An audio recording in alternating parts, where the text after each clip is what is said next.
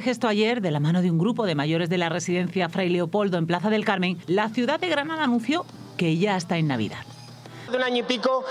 que lo hemos pasado bastante complicado. Todavía hay que tener cuidado, cuidar mucho a los que tenemos cerquita, mantener las mascarillas, sobre todo en los sitios cerrados.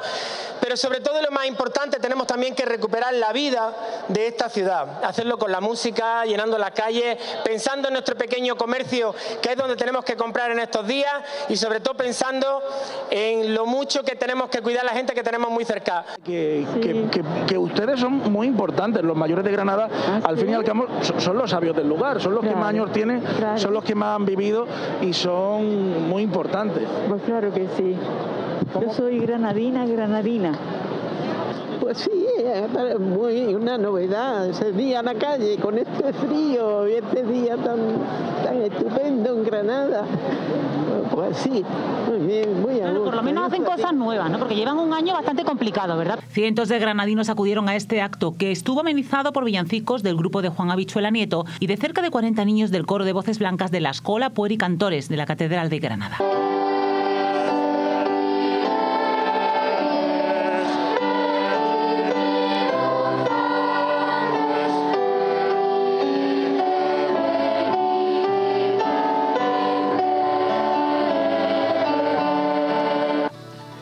Cabe destacar que la Plaza del Carmen vuelve a tener un espectáculo de luz y sonido con dos pases diarios, uno a las 19 y 30 y otro a las 21 y 30 horas. Así como que la Plaza de Virrambla y la del Humilladero, entre otros espacios, tendrán numerosas atracciones para los niños más pequeños. Las incidencias de cortes de luz continúan en la zona norte de la capital y se manifiestan con mayor intensidad ante las altas y bajas temperaturas. Frente a estos cortes, la realidad del distrito han señalado desde la mesa de la zona norte es el pago puntual de las facturas de electricidad por la inmensa mayoría de sus vecinos. Por ello, los integrantes de la mesa en colaboración con los vecinos y vecinas afectados han pedido nuevamente la ayuda del Ayuntamiento de Granada, una ayuda que afirman podría concretarse en la articulación de una ordenanza para blindar los suministros esenciales, así como el ruego concreto de que estreche y mantenga la vigilancia sobre el alumbrado público en estos barrios. Además, vuelven a instar al Gobierno de España y a la Junta de Andalucía a tomar cartas en el asunto y a dejar, dicen, de mirar a otro lado. Recuerdan otra vez la grave vulneración de derechos fundamentales que está produciéndose desde hace más de una década por la flagrante inacción, afirman, de las administraciones competentes. Vuelven a pedir a la compañía distribuidora que dé el servicio que tienen que dar a las personas al corriente del pago, que mejore su red de baja tensión y que monitorice concentradores y contadores de telemedida para prestar aquello por lo que cobra.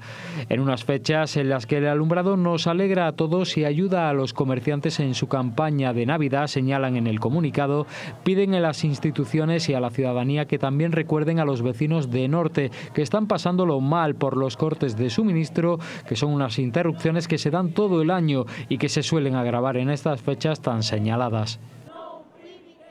El Plan Reno 2021 que se ha presentado hoy se prolongará del 3 de diciembre al 8 de enero y contará con 5.400 agentes durante este periodo. La policía local estará muy pendiente de la seguridad vial en los accesos y salidas de centros comerciales, así como en 24 puntos de control en toda la ciudad, con 168 agentes. Controles de alcoholemia, lo que se suman puntos de verificación, una novedad con la que controlar el nivel de alcohol de los granadinos para evitar conducir ebrios. Poner unos puntos de verificación de alcoholemia que son puntos en los cuales los ciudadanos y ciudadanas podrán comprobar su grado de alcohol antes de coger el coche. Y, por tanto, si tienen un grado de alcohol superior, pues ser lo suficientemente responsable y cívico como para no para no coger el coche eh, y, por tanto, evitar pues, problemas mayores. La Policía Administrativa estará muy pendiente de que se cumpla la normativa y la Policía Ciudadana, de 9 de la noche a 6 de la mañana, controlará aforos, estupefacientes, venta de alcohol a menores, así como la seguridad en las calles. El tema del ocio nocturno, para que eh, se cumpla con la mayor rigidez posible, si es posible, eh, bueno, el control de la seguridad de los establecimientos, el control de los aforos, el control, lógicamente, de la prohibición de venta de alcohol a menores fuera del horario y sobre todo, y sobre todo hacerlo compatible con las normas epidemiológicas del COVID-19. La concejal de movilidad Raquel Ruz, acompañada por el superintendente jefe de la policía local José Antonio Moreno, han presentado este plan Reno que además busca dotar de la máxima seguridad a los ciudadanos, atendiendo a estas tres áreas. Es necesario también que la gente se sienta segura en las calles, eh, porque esa seguridad es lo que va a hacer que, la gente pues, pueda disfrutar con total libertad de todos estos espacios que os estoy comentando. Los indicadores turísticos marcan que durante el puente habrá una ocupación hotelera alrededor del 90%. Son datos muy similares a los de 2019 antes de la pandemia. Datos que ha dado el concejal de turismo Eduardo Castillo advirtiendo que esta recuperación no será total hasta que no se incorporen de nuevo gran parte del turismo extranjero que ya poco a poco va llegando a Granada queda un poquito para recuperar, un poquito, eh, bastante, para recuperar eh, las cifras de turismo internacional que teníamos antes de la pandemia, pero sí es cierto que el turismo nacional está compensando esa falta de turistas eh, extranjeros. Nuestros vecinos franceses están siendo los que encabecen las visitas internacionales a, a, nuestra ciudad, seguidos muy de lejos por los alemanes y los y lo holandeses. Cifras que se completan con las ventas de Granada Cars, doblando las ventas del pasado puente y un buen rendimiento de las ventas de las entradas de espectáculos y oferta cultural de Granada. Buen rendimiento cultural y de otras ofertas como las de Sierra Nevada, que abrió el pasado fin de semana con la tercera mejor marca de los últimos 20 años. Granada, por un lado, es segura y queremos insistir también en que granadinos y granadinas sean responsables, especialmente ahora que se están reactivando los sectores económicos que, sustentan de alguna forma a esta ciudad. Desde el Ayuntamiento de Granada también han pedido a los granadinos y los visitantes que mantengan las medidas de higiene y protección con el objetivo de disfrutar de este puente de una manera segura que por supuesto hay que usar la mascarilla, que por supuesto hay que eh, cumplir con todas las medidas de eh, seguridad y este viernes, además, activamos para ello, para garantizar esa seguridad en todos los ámbitos, como anunció mi compañera Raquel Rú, activamos el plan Reno con 5.500 servicios de policía eh, local. El alcalde de Granada, Francisco Cuenca, ha anunciado la ampliación de horarios de la línea de alta velocidad. Así, Cuenca ha señalado que esta mañana ha recibido una llamada desde la Secretaría de Estado de Comunicaciones señalando el refuerzo en el fin de semana. Serán los viernes y los domingos con tres conexiones y tiene como objetivo mejorar la comunicación de Granada con Madrid. El refuerzo de las conexiones de la frecuencia ferroviaria en Granada, tal y como le demandé al Ministerio de Fomento a través de su secretaría la Secretaría de Estado. y Se van a reforzar eh, viernes y domingo inicialmente, empezando desde este mismo puente, desde este mismo domingo, y a partir de ahí se quedarán de forma permanente al inicio de una parte del compromiso que he reivindicado, que he demandado al Gobierno de España y que entiendo empiezan a, dar respuesta para una cuestión justa para Granada y la mejora de la frecuencia y de los horarios de los trenes. Los trenes que se sumarán al servicio saldrán los viernes de la estación de Atocha a las 8 menos cuarto de la tarde y los domingos de Granada a las 10 y 59 minutos de la mañana. Ambos realizarán paradas intermedias en Loja, Antequera, Córdoba, Ciudad Real y Puerto Llano. Los primeros trenes de refuerzo ya circularán durante este puente de la Constitución. Lo harán los viernes 3 y 10 de diciembre desde Madrid y el miércoles día 8 desde Granada para facilitar el retorno tras los días de fiesta. A partir del fin de semana siguiente, el del 10 de diciembre, los nuevos trenes comenzarán a prestar servicio de manera regular, cada viernes y domingo. El Ayuntamiento de Granada comienza la peatonalización del eje comprendido entre las calles Gran Vía Santa Paula y Gran Vía Elvira. Serán 14 calles en este entorno. En la zona comprendida entre Elvira y Gran Vía, las calles serán de uso compartido del peatón y vehículos de residentes con el piso al mismo nivel eliminando acerado. En las calles correspondientes al barrio de Santa Paula se priorizará el uso peatonal. Por tanto, no solo se va a limitar el paso a 20 kilómetros por hora donde se pueda, se va a priorizar el uso por parte de los peatones mediante la actuación urbanística pero hay que dejar muy claro que se sigue permitiendo esa parte semi, que se sigue permitiendo el acceso a los residentes, por supuesto, porque además es que queremos que viva gente aquí y que tenga la capacidad de entrar y salir de sus casas para que este barrio, estamos hablando del entorno, de prácticamente el entorno de calle Elvira, toda la zona centro, que lo que requiere es que la gente viva aquí. Y la mejor manera es facilitar la entrada y salida, por tanto acceso a residentes y el resto de vehículos va a estar limitado en unas calles al 100% y en otro caso, eh, y en otro caso solamente eh, eh, con la limitación de velocidad. En todas estas calles se van a meter nuevos alimentos y red de abastecimiento que ejecutará también Emasagra. Esto se, esto se financia con fondos FEDER. El proyecto al 80%. El proyecto de intervención urbanística está rondando los 700.000 euros, a los cuales hay que sumar en torno de unos 300.000 euros de las intervenciones en saneamiento y depuración de aguas que, realizamos con EMASAGRA. Por tanto, estamos hablando de que todo este arco de estas 14 calles, sumando fondos FEDER más la parte de EMASAGRA, vamos a estar en torno a un millón de euros. El alcalde ha estado acompañado por los líderes de urbanismo y obra pública, Miguel Ángel Fernández Madrid, y de movilidad, Raquel Ruz, junto con técnicos de ambos departamentos. La tercera edición de los premios Granada Ciudad de la Ciencia y la Innovación, cuya gala de entrega se celebró en el Auditorio Manuel de Falla, galardonó a catedrático de Bioquímica y Biología Molecular, Ángel Gil, por su trayectoria científica, y a Isabel Márquez, subdirectora científica del Instituto de Astrofísica de Andalucía, con el premio Mujeres en la Ciencia. Que es un premio para muchas mujeres, para mujeres fuertes y valientes. No le están dando el galardón a una persona, sino que le están dando el galardón a un gran grupo. El galardón Jóvenes Investigadores fue para Dafina Petrova, científica de la Escuela Andaluza de Salud Pública, y los investigadores del Instituto de Biomedicina, López Neira, Mario Delgado y Elena González, obtuvieron el premio a la excelencia en la investigación. Es un premio a Granada, a la fuerza investigadora que hay en la ciudad de Granada. Una actividad que yo creo que está en la esencia del ser humano, investigar y descubrir. Ya soy una granadina parcialmente porque tengo una hija granadina búlgara. El premio a la divulgación científica fue execuo para Emilio García, miembro de la Unidad de Cultura Científica del Instituto de Astrofísica de Andalucía, y Miguel Cabrerizo, catedrático de Física Aplicada en la Universidad de Granada. Como digo que soy granadino, pues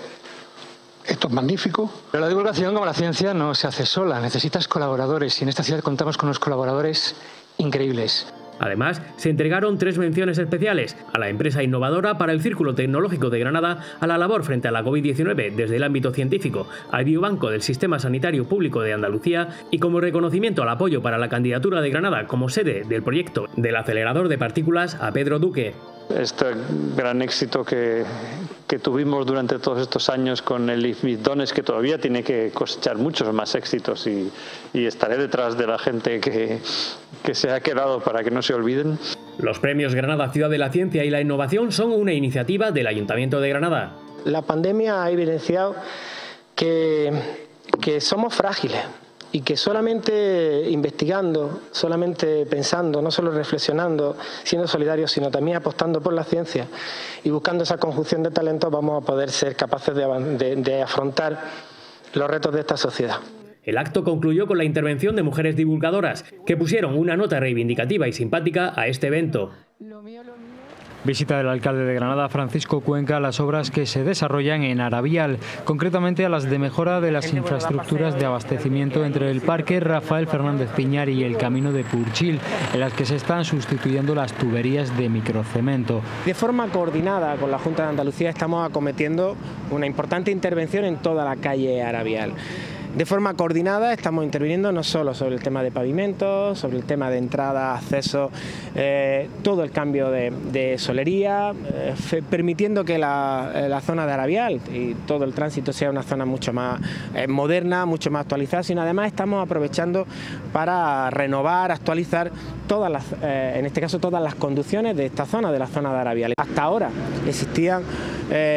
todavía quedaban trozos de fibrocemento, de conducciones de agua de fibrocemento, cemento y lo que hemos hecho ha sido renovar, que acabamos de terminar las obras, todas las conducciones, paseándolo a lo que se llama técnicamente la fundición dúctil, que permite no solo actualizar las redes, sino evidentemente mejorar todo lo que tiene que ver con,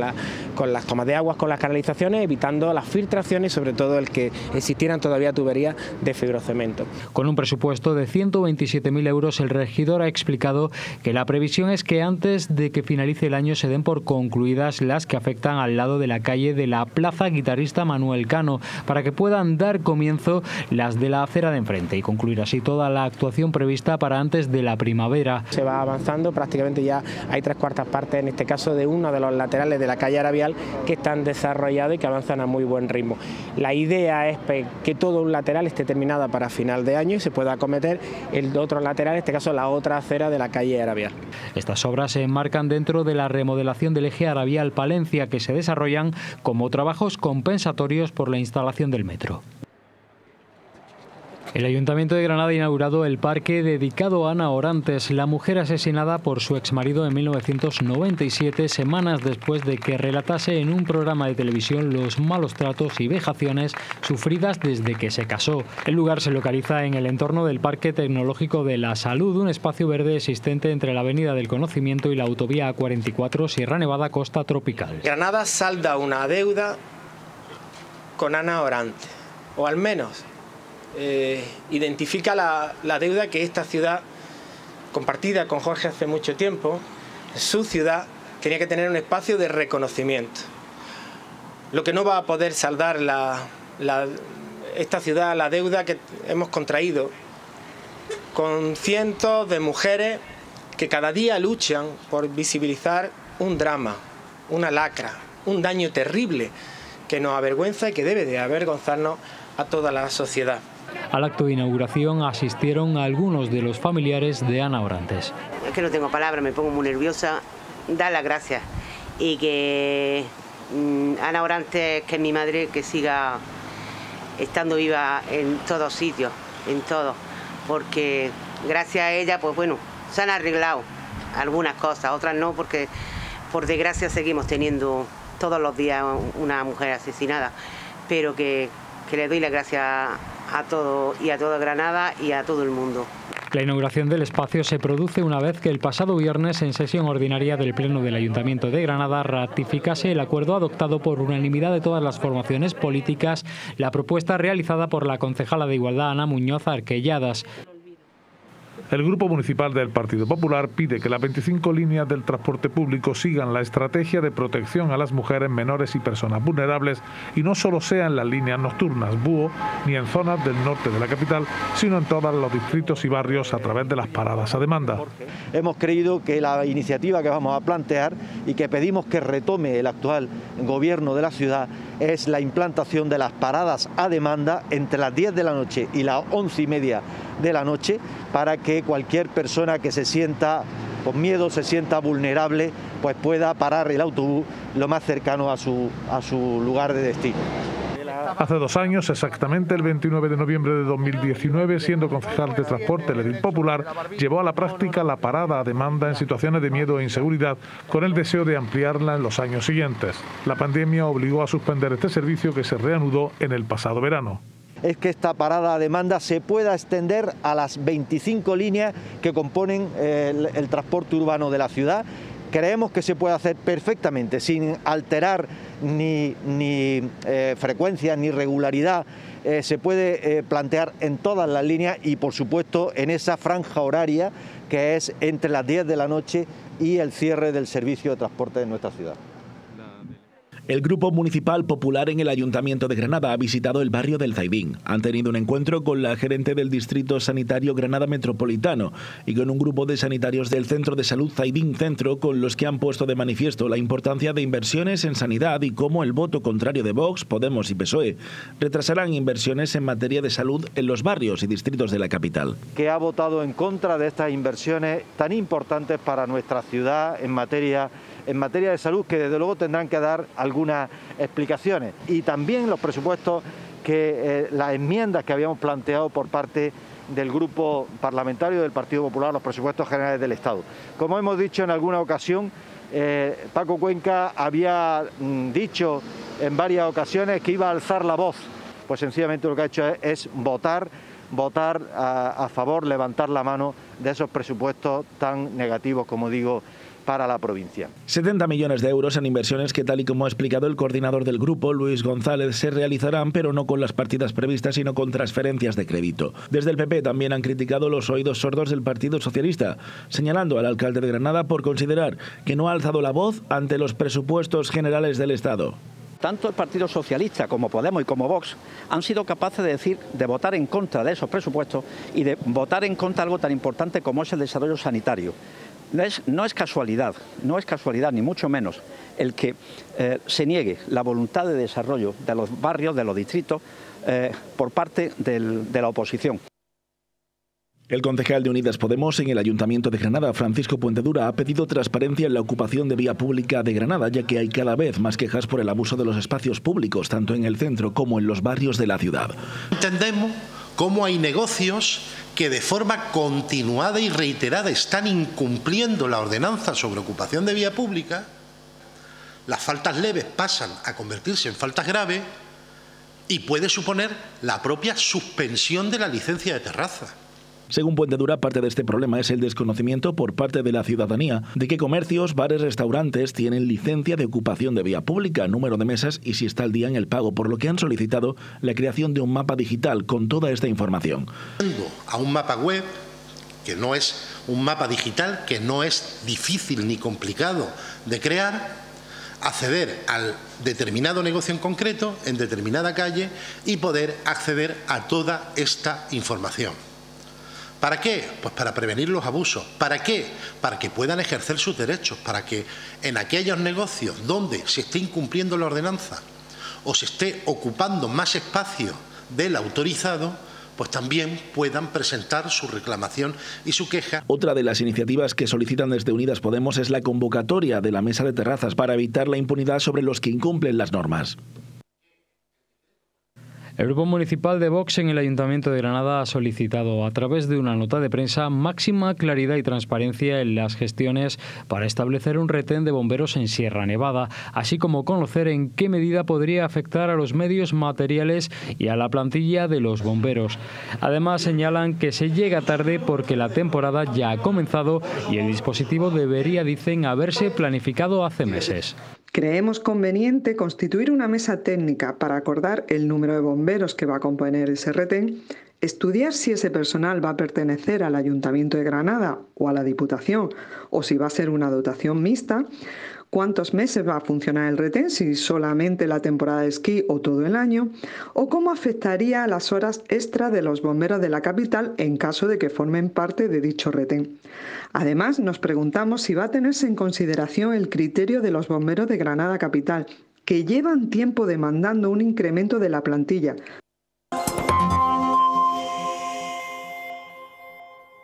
El presidente del Tribunal Superior de Justicia de Andalucía, Lorenzo del Río, ha expuesto que la Junta tendrá que volver a solicitar la autorización judicial para pedir el certificado COVID en las visitas a centros sanitarios y sociosanitarios, al no haber acotado su duración. El TSJ de Andalucía se ha alineado, cuando lean la resolución, se ha alineado con el resto de tribunales superiores. Lo que ocurre es que ha encontrado un problema insalvable, que es que la Junta de Andalucía no había puesto límite temporal. Que Andalucía eh, no, se, no se ha movido rápido en esa petición del pasaporte, pasaporte COVID, tanto en cuanto a la situación en Andalucía no es comparable con el resto de Europa, ni siquiera con el resto de España. En cualquier caso, toda, la mayoría de las comunidades autónomas estamos pidiendo ese pasaporte COVID, primero en residencias y hospitales, y con posterioridad abrirlo a servicios de, de, ocio y hostelería. En la resolución emitida por el Tribunal Superior de Justicia de Andalucía se considera que la medida cumple los requisitos de proporcionalidad, necesidad e idoneidad y que haya una escasa entidad de la restricción de los derechos fundamentales, pero que no es posible su ratificación al no contar con una limitación temporal de su vigencia. Después de entender que era justificado, que era proporcional y que se podía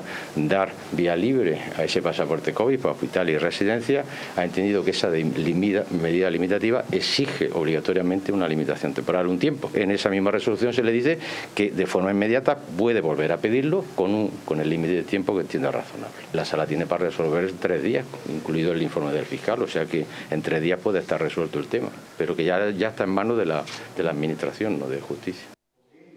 El alcalde de Granada, Francisco Cuenca, ha agradecido en exceso la gratitud que con el inicio de este legado tiene uno de los artistas más relevantes granadinos contemporáneos, Juan Manuel Brazán, imprescindible en el discurrir del arte de la ciudad. Este equipo de gobierno tenía pendiente iniciar los trabajos, que bien sabéis, para exponer el legado de Brazán, como decía anteriormente, para mayor eh, relevancia patrimonial y cultural de esta ciudad. Y ese trabajo se inicia hoy. Hoy lo que hacemos es precisamente iniciar la recepción con carácter oficial del legado de Juan Manuel Brazán. Lo hacemos en una primera parte en la que vamos a poder disfrutar ahora hasta finales de diciembre.